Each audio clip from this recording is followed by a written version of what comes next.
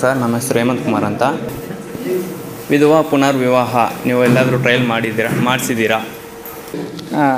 ನಾವು ಮಾಡ್ತಾ ಇರುವಂಥ ಹಲವು ಕೆಲಸಗಳಲ್ಲಿ ಮರುಮದುವೆ ಅನ್ನುವಂಥದ್ದು ಕೂಡ ಒಂದು. ಅವರು ಒಂದು ಪ್ರಶ್ನೆ ಕೇಳಿದರು. ನೀವು ಮರುಮದುವೆ ಬಗ್ಗೆ ಮಾತಾಡ್ತಾ ಇದ್ರು ಮಾಡಿಸಿದ್ದೀರಾ ಅಂತ. ಅಲ್ವಾ? ನಾವು ಪ್ರಾಕ್ಟಿಕಲ್ಲಾಗಿ ಕೆಲಸ ಮಾಡಿದ್ರೆ ಮಾತ್ರ ಪ್ರಯೋಜನ. ಬರೀ ಮಾತಾಡೋದ್ರಿಂದ ಪ್ರಯೋಜನ. ನಾನು ಅಸ್ಪೃಶ್ಯತೆ ಬಗ್ಗೆ ಮಾತಾಡ್ತಾ ಇದ್ದೀನಿ ಅಂದರೆ ಅಲ್ಲಿ ಮಾಡಿರಬೇಕು. ಅಲ್ವಾ? ಏನೋ ಮಾಡಿದೆ ನಾನು ಇಲ್ಲಿ ಮಾತಾಡ್ತಾ ಇದ್ದೀನಿ ಅಂದರೆ ಅಸ್ಪೃಶ್ಯತೆ ಹೋಗಲ್ಲ. ಹಾಗೆಯೇ ಮರುಮದುವೆ ಬಗ್ಗೆ ಮಾತಾಡೋದ್ರಿಂದ ಪ್ರಯೋಜನ ಇಲ್ಲ. ನೀವು ಮಾಡಿಸ್ಬೇಕು. ಮದ್ ಒಂದಷ್ಟು ಮದುವೆಗಳು ಮಾಡಿಸ್ಬೇಕು. ನಾವು ಒಂದೆರಡು ಮೂರು ವರ್ಷಗಳ ಹಿಂದೆ ಒಂದು ಗ್ರೂಪ್ ಮಾಡಿದ್ದೇವೆ. ವ್ಯಾಟ್ಸಪ್ ಗ್ರೂಪ್ ಅಂತ ಮಾಡಿದ್ದೇವೆ. ಅರಿವು ಮರುಮದುವೆ ಅಂತ ಗ್ರೂಪ್. ಮೇಡಮ್ ಅವ್ರು ಇರಬೇಕು ಗ್ರೂಪಲ್ಲಿ ಅನಿಸ್ತದೆ. ಸರಿ, ಇಲ್ಲ, ಇಲ್ವೇನೋ? ಯಾಕೆಂದರೆ ಅದು ಒಂದೇ ಗ್ರೂಪ್ ಮಾಡಿರೋದು ನಾವು. ಅಲ್ಲಿ ಆಲ್ರೆಡಿ ತುಂಬೋಗಿದೆ ಅದು. ನನಗೆ ಅನಿಸಿದ್ದೇನೆಂದರೆ ಬೇರೆ ಗ್ರೂಪಲ್ಲಿ ಅಷ್ಟು ಡಿಮ್ಯಾಂಡ್ ಇಲ್ಲ, ನಮ್ಮ ಹೆಸರು ಸೇರಿಸಿ, ನಮ್ಮ ಹೆಸರು ಸೇರಿಸಿದ್ದಿಲ್ಲ. ಈ ಮರುಮದುವೆ ಗ್ರೂಪ್ ಇದೆಯಲ್ಲ, ನಮ್ಮ ಹೆಸರು ಸೇರಿಸಿ, ನಮ್ಮ ಹೆಸರು ಸೇರಿಸಿ ತುಂಬ ಜನ ಕೇಳಿದ್ದಾರೆ ನನಗೆ. ನಿಜವಾಗುವೆ ಆ ಗ್ರೂಪ್ ಯಾವತ್ತೂ ಖಾಲಿ ಇಲ್ಲ ತುಂಬಿದಂಗೆ ಇರುತ್ತೆ ಗ್ರೂಪ್ ಇನ್ನೂರ ಅರವತ್ತೈದು, ಇನ್ನೂರ ಎಷ್ಟು, ಐವತ್ತಾರು ಜನ ಏನೋ ಇದೆಯಲ್ಲ ಲಿಮಿಟ್ಟು ಆ ಲಿಮಿಟ್ಟು ಒಂದೊಂದು ಸಲ ತುಂಬ ಹೋಗಿ ನಮ್ಗೆ ಸೇರ್ಸೋಕ್ಕಾಗಲ್ಲ ಅಂತ ಕೆಲವ್ರನ್ನ ಕಿತ್ತಾಕ್ಬಿಟ್ಟು ಸೇರಿಸಿದ್ದೀನಿ. ಅಂದರೆ ಇವತ್ತು ಮರುಮದುವೆಗೆ ಅಷ್ಟು ಡಿಮ್ಯಾಂಡ್ ಇದೆ. ಯಾಕೆಂದರೆ ಯಾರೂ ಕೂಡ ಕೆಲಸ ಮಾಡ್ತಾ ಇಲ್ವಾ? ಕೆ- ಮಾಡ್ತಾ ನಮ್ಮಂಥವ್ರು ಕೆಲವೇ ಜನ ಅಲ್ವಾ? ಅದಕ್ಕೆ ಅನೇಕ ಜನ ಪ್ರೋತ್ಸಾಹವನ್ನು ಕೊಡ್ತಾ ಇದ್ದಾರೆ. ನೀವು ಮಾಡ್ತಾ ಇದ್ರೆ ಒಳ್ಳೆ ಕೆಲಸ ಸರ್. ನಮ್ಮನ್ನು ಸೇರಿಸಿ ನಮ್ಮ ಸುತ್ತಮುತ್ತ ಇರೋರು ನಾವು ಇನ್ಫಾರ್ಮೇಷನ್ ಮುಟ್ಟಿಸ್ತೀವಿ ಅಂತ. ಎಷ್ಟೊಂದು ಜನ, ದೂರ ದೂರದವರು, ಬೇರೆ ದೇಶದಲ್ಲಿರೋರು ಕೂಡ ನಮ್ಮನ್ನು ಕಾಂಟ್ಯಾಕ್ಟ್ ಮಾಡಿ ನನಗೆ ಆಶ್ಚರ್ಯ ಆಗುತ್ತೆ. ಅಮೇರಿಕಾದಲ್ಲಿರುವಂಥ ಒಂದು ಹೆಣ್ಮಗು ಈ ಥರ ಯಾವುದೋ ಕಾರಣಕ್ಕೆ ಡೈವರ್ಸ್ ಆಗೋಗುತ್ತೆ. ಮತ್ತೆ ಇಂಡಿಯಾಗೆ ಬರ್ತಾ ಇದ್ದೀವಿ. ಯಾರಾದರೂ ಈ ಥರ ಹುಡುಗ ಇದ್ದರೆ ನಮಗೆ ಮ್ಯಾಚ್ ಆಗಂಗಿದ್ರೆ ಹೇಳಿ ಅಂತ. ನಾವಿದು ಫ್ರೀ ಸರ್ವಿಸ್ ಇದೇನು ಒಂಥರ ನಾವೇನು ದುಡ್ಡಿಗೆ ಮಾಡೋದಲ್ಲ, ನಾವೆಲ್ಲವೂ ಕೂಡ ಫ್ರೀ ಸರ್ವಿಸ್ ನಾವು ಪೂರ್ತಿ ಅದರಲ್ಲಿ ಇನ್ವಾಲ್ವ್ ಆಗಲ್ಲ. ನಾವೇನಂದರೆ ಈ ಥರ ಒಂದು ಹುಡುಗಿ, ವಯಸ್ಸು ಇಪ್ಪತ್ತೆಂಟು ವಿಧುವೆ ಆಗಿದ್ದಾರೆ.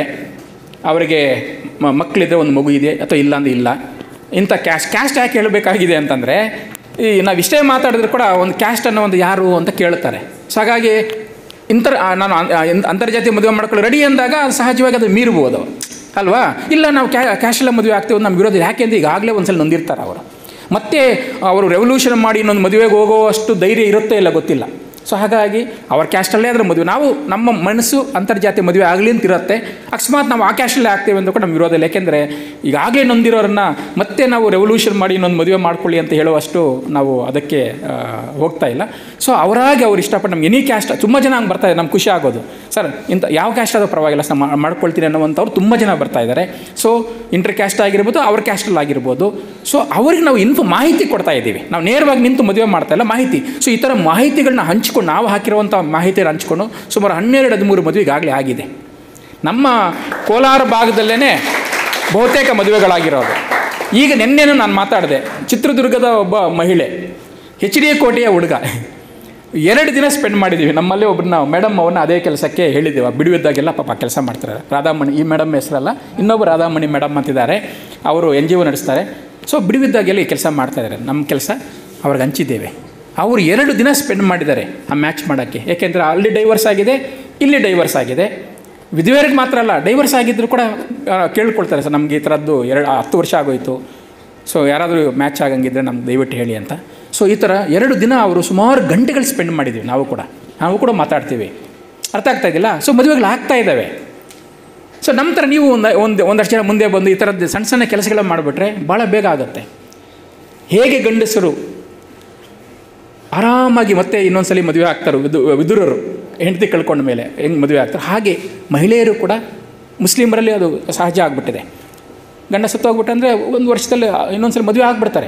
ಇವತ್ತು ಕೂಡ ಹಿಂದೂಗಳಲ್ಲೇ ಇದು ಇರೋದು, ಕೆಟ್ಟ ಒಂದು ಇದು, ಏನು, ಮ, ಮತ್ತೆ ಮದುವೆ ಆಗೋಕ್ಕೆ ಅವಕಾಶ ಇಲ್ಲದೆ ಇರತಕ್ಕಂಥ ವಾತಾವರಣ ನಮ್ಮಲ್ಲಿದೆ, ಅದು ಹೋಗಬೇಕು.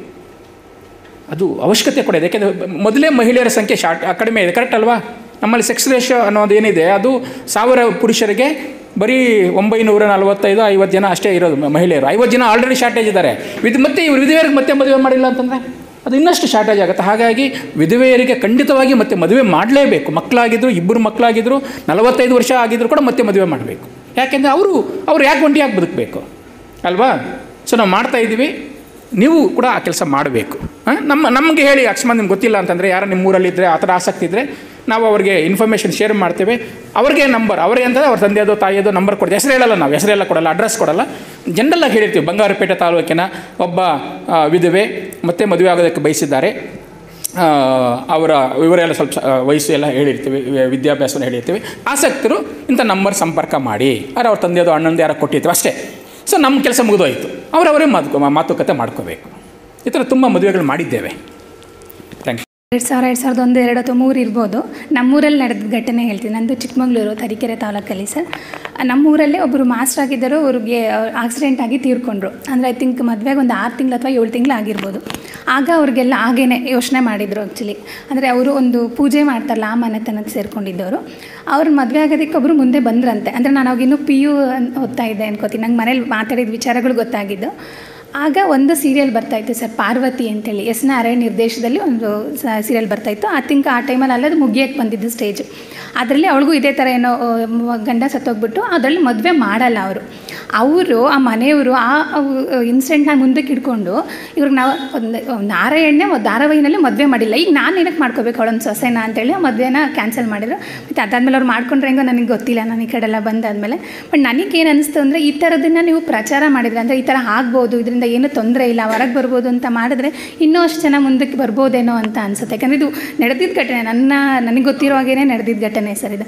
ಐ ಥಿಂಕ್ ನನಗೆ ಮೀಡಿಯಾದವರು ನೀವು ಹೇಳ್ದಂಗೆ ಬುಕ್ಸ್ಗಳು ತಲುಪ್ತಾ ಇದ್ರು ಮೀಡಿಯಾಗಳು ತಲುಪ್ತಿದೆ. ಸೊ ಈ ಮೀಡಿಯಾ ಮೂಲಕನಾದ್ರೂ ಇನ್ನೂ ಸ್ವಲ್ಪ ಪ್ರಚಾರ ಮಾಡಿದ್ರೆ ಇನ್ನೊಂದಷ್ಟು ಜನಕ್ಕೆ ಅಂದರೆ ಇನ್ನೂ ಆ ಕಾನ್ಸೆಪ್ಟಲ್ಲಿ ಇರೋರಿಗೆ ಆಚೆ ಬರಲಿಕ್ಕೆ ಆಗುತ್ತೇನೋ ಅಂತ ನನ್ನ ವೈಯಕ್ತಿಕ ಅಭಿಪ್ರಾಯ ಸರ್. ಸಾಮಾಜಿಕ ಜಾಲತಾಣದಲ್ಲಿ ಒಂದು ನ್ಯೂಸ್ ಓದ್ಕೊಂಡಿದೆ ನಿಮ್ಮ ಬಗ್ಗೆ. ಮುಲ್ಬಾಗಲ್ನಲ್ಲಿ ಸವರ್ಣೀಯರ ಮನೆಗೆ ದಲಿತರನ್ನು ಪ್ರವೇಶಿಸುವುದು. ಅದು ಆ ಪ್ರವೇಶ ಅವರಿಗೆ ಒಪ್ಪಿಗೆ ಇತ್ತ ಸವರ್ಣೀಯರಿಗೆ ಆ ಪ್ರಕ್ರಿಯೆ ಹೇಗಿತ್ತು ಸ್ವಲ್ಪ ಹೇಳಿ ಸರ್?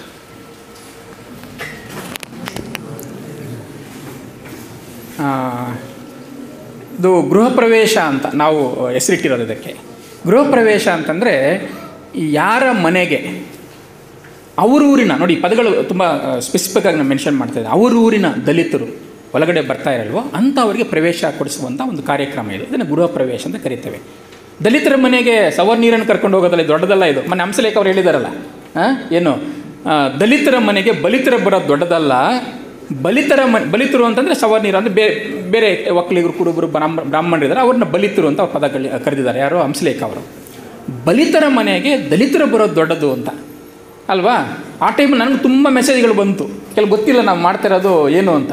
ಅವ್ರೇನು ಅಂದ್ಕೊಂಡ್ಬಿಟ್ಟು ನಾವು ಕೂಡ ಒಕ್ಕಲಿಗರನ್ನ, ಕುರುಬರನ್ನ ಬ್ರಾಹ್ಮಣರು ದಲಿತರ ಮನೆಗೆ ಕರ್ಕೊಂಡು ಹೋಗ್ತಾ ಇದ್ದೀರಂತ ಅಂತ ತುಂಬ ಕೆಲವು ಜನ ಅಂದ್ಕೊಂಡಿದ್ದಾರೆ. ಅದಲ್ಲ ಅದು. ನೀವು ತುಂಬ ಗಮನಿಸಿರ್ತೀವಿ ನಾವು ಮಾಡ್ತಾ ಇರೋದು ಬಲಿತರು ಅಂತ ಏನು ಹಂಸಲೆ ಕರೆದಿದ್ದಾರೆ. ಬ್ರಾಹ್ಮಣರು, ಕುರುಬರು ಒಕ್ಕಲಿಗರು ಏನೇ ಈ ಥರ ಸ್ವಲ್ಪ ಸೊಸೈಯಲ್, ಸೋಷಿಯಲಿ ಸ್ವಲ್ಪ ಸ್ಟ್ರಾಂಗ್ ಆಗಿರುವಂಥ ಕಮ್ಯುನಿಟೀಸ್ ಏನಿದ್ದಾವೆ, ಅವರ ಮನೆಗಳಿಗೆ ಅವರ ಊರಿನ ದಲಿತರನ್ನು ಕರ್ಕೊಂಡು ಹೋಗ್ತಾ ಇರೋದು.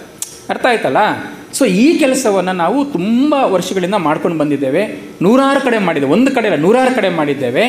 ಅವರು ಕೇಳಿದ್ರು, ಯಾವುದೋ, ಅವರು ಒಂದು ಮೆನ್ಷನ್ ಮಾಡಿಲ್ಲ. ಒಂದು ಎಕ್ಸಾಂಪಲ್ ಹೇಳ್ತೀನಿ. ನೀಲಕಂಠೇಗೌಡ ಅಂತ ಒಬ್ಬರು ಮುಳ್ಳಬಾಗಲ್ ತಾಲೂಕಿನ ಒಬ್ಬ ದೊಡ್ಡ ರಾಜಕಾರಣಿ. ಆಯಿತಾ? ಅವರ ಮನೆ ಒಳಗಡೆ ನಾವು ಅವರೂರಿನ ದಲಿತರನ್ನು ಕರ್ಕೊಂಡು ಹೋಗಿದ್ದೆ. ಆ ಕಾರ್ಯಕ್ರಮಕ್ಕೆ ಡಿ ಕೆ ರವಿ ಅವರು ಬಂದಿದ್ದರು ಡಿ ಕೆ ರವಿ ಅವರು ಜಿಲ್ಲಾಧಿಕಾರಿಗಳಾಗಿದ್ದರು ಸರ್ ಆ ಟೈಮಲ್ಲಿ.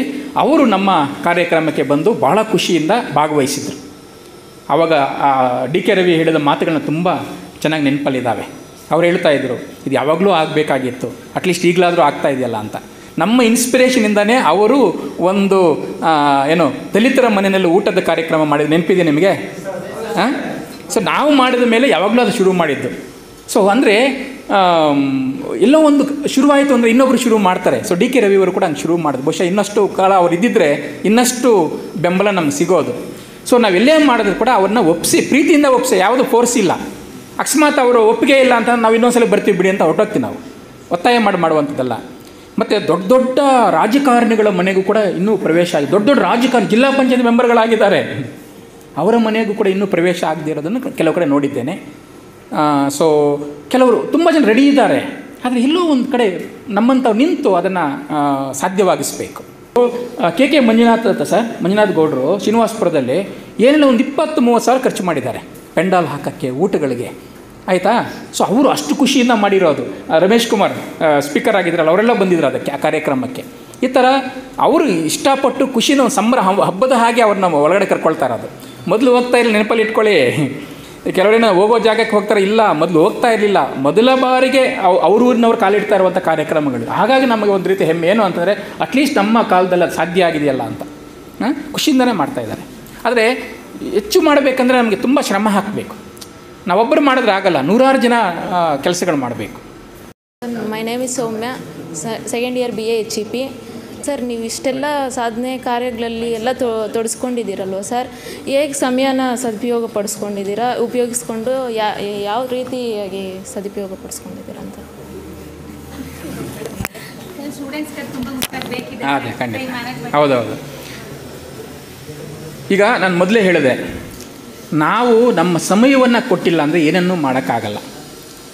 ಸಮಯ ಅಂತಂದರೆ ನಮ್ಮ ಕಾಲೇಜು ನಾಲ್ಕೂವರೆ ಆ ಸುಮಾರು ಮುಗಿದೋಗುತ್ತೆ. ನಾನು ಮನೆಗೆ ಇಮಿಡಿಯೇಟಾಗಿ ಹೋಗಿದ್ದು ಅಪರೂಪ. ಏನೋ ಐದು ಗಂಟೆಗೆ ಐದು, ಐದುವರೆಗೆ ಹೋಗಿದ್ದು ಕಡಿಮೆ. ನಾನು ಮನೆಗೆ ಹೋಗೋದು ಎಂಟು ಗಂಟೆ ಒಂಬತ್ತು ಗಂಟೆ ಒಂದೊಂದು ಸಲ ಹನ್ನೊಂದು ಗಂಟೆ ಈ ಥರ ಎಲ್ಲ ಮಾಡಿದ್ದೀನಿ.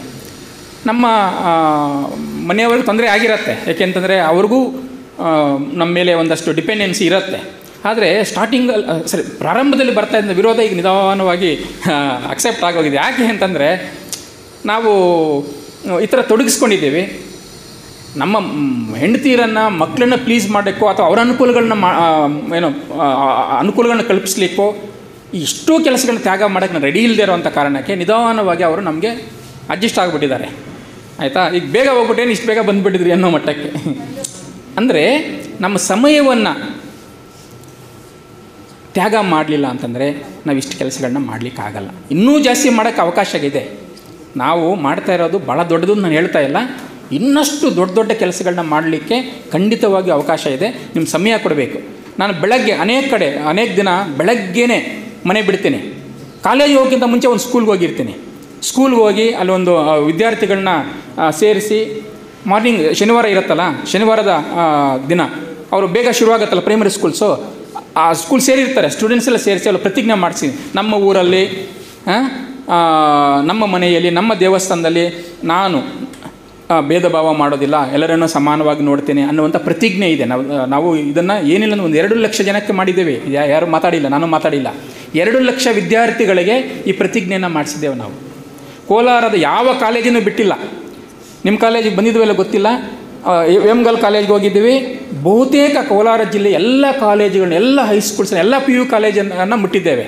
ಈ ಪ್ರತಿಜ್ಞೆಯನ್ನು ಮಾಡಿಸಿದ್ದೇವೆ. ನಾವೇ ಪಾಂಪ್ಲೆಟ್ಸ್ ಮಾಡಿಸಿದ್ದೇವೆ. ಅರ್ಥ ಆಗ್ತಾ ಇದೆಯಲ್ಲ? ಸೊ ಈ ಥರ ಶನಿವಾರ ಅರ್ಲಿ ಮಾರ್ನಿಂಗ್ ಹೋಗೋದು, ಒಂದು ಸ್ಕೂಲನ್ನು ಮುಟ್ಟೋದು. ಮತ್ತು ಕಾಲೇಜನ್ನು ಬೇಗ ಮುಗಿದ ತಕ್ಷಣ ಒಂದು ಹಳ್ಳಿ ಮೇಲೆ ಹೋಗುವಂಥದ್ದು. ಕ್ರಿಕೆಟ್ ಆಡ್ತಿರ್ತಾರೆ ಸ್ಟೂಡೆಂಟ್ಸ್ ಅಥವಾ ಯಾರೋ ವಾಲಿಬಾಲ್ ಆಡ್ತಿರ್ತಾರೆ, ಅಲ್ಲೇ ಸೇರಿಸ್ಬಿಡೋದು ಅವ್ರನ್ನ. ಅಲ್ಲಿ ಪ್ರತಿಜ್ಞೆ ಮಾಡಿಸಿದ್ದೀವಿ. ಅರ್ಥ ಆಗ್ತಾ ಇದೆ ನಿಮಗೆ? ಸಂಜೆ ಹೊತ್ತು ನಾವು ತತ್ವಪದಕಾರನೆಲ್ಲ ಒಂದು ಕಡೆ ಸೇರಿಸೋದು, ಅವರ ತತ್ವಪದಗಳನ್ನು ದಾಖಲಿಸ್ಕೊಳ್ಳೋದು ಹಾಗೆಯೇ ಅವರಿಗೆ ಈ ವಿಷಯವನ್ನು ಹೇಳೋದು. ಈ ಥರ ತುಂಬ ಟೈಮನ್ನು ನಾವು ಬಳಸ್ಕೋಬೋದು. ಸಾಧ್ಯ ಇದೆ. ಮತ್ತು ಭಾನುವಾರಗಳನ್ನು ಬಹುತೇಕ ನಾವು ಬಳಸ್ಕೊಂಡಿದ್ದೇವೆ. ಮತ್ತು ನಮ್ಮ ಸಿ, ಸಿಗ್ತಾವಲ್ಲ, ಸಿ ಎಲ್ ರಜೆ ಸಿಗತ್ತಲ್ಲ ಹದಿನೈದು ದಿನ ಹದಿನೈದು ದಿನ ಬಳಸ್ಕೊಂಡಿದ್ದೇವೆ. ಈ ಥರ ನಮ್ಗೆ ಏನೆಲ್ಲ ರಜೆಗಳು ಸಿಗ್ತಾವೋ, ಆ ಎಲ್ಲವನ್ನು ಕೂಡ ನಾನು ಬಳಸ್ಕೊಂಡಿದ್ದೇನೆ, ಬಹುತೇಕವಾಗಿ. ಹಾಗಾಗಿ, ಏನೋ ಒಂದಷ್ಟು ಕೆಲಸ ಮಾಡಲಿಕ್ಕೆ ಸಾಧ್ಯ ಆಗಿದೆ.